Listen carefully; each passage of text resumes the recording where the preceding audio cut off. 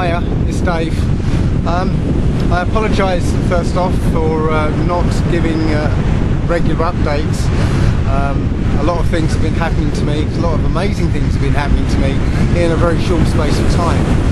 Um, I'm here in Morocco on a wild and uh, windy beach in Morocco um, helping out on the uh, QEG free energy device team. So uh, yeah, that's one of the reasons I've not been able to give an update for a while. Uh, you can see it's uh, quite a uh, quite a wild and uh, wild waves. I mean, I, I thought that uh, the Mediterranean was uh, gonna gonna be quite calm. Never seen it like this before, but there you go.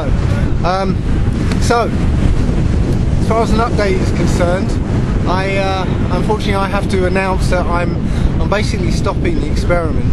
Um, not because uh, you know I can't do it, because the fact is I can carry on uh, indefinitely. But uh, um, I went to a festival um, just recently and literally had four or five friends um, mirror back to me my own thoughts and feelings. Um, essentially, uh, the fact that I'm embarking upon a new relationship and it's going to start off on a very uneven and um, a difficult footing with me not eating.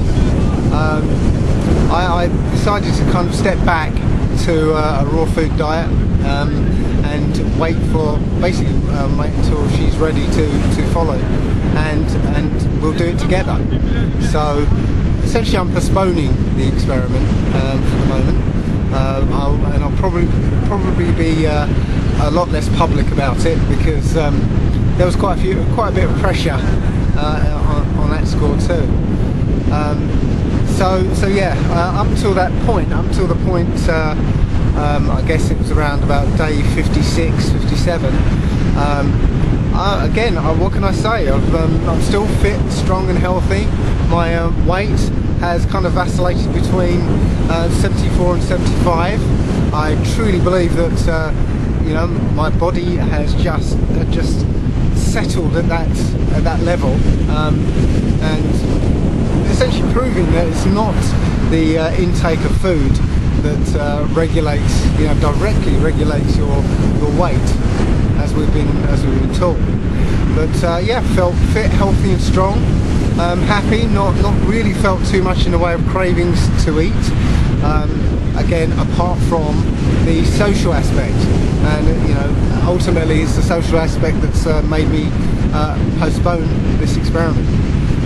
Um, so uh, I, I really get back into eating um, proper uh, well I guess in, in about a week's time. So technically I'm still on the uh, I'm still on the path but you know I have eaten um, a few salads and uh, a few bits of fruit uh, since I've since I've been here in Morocco.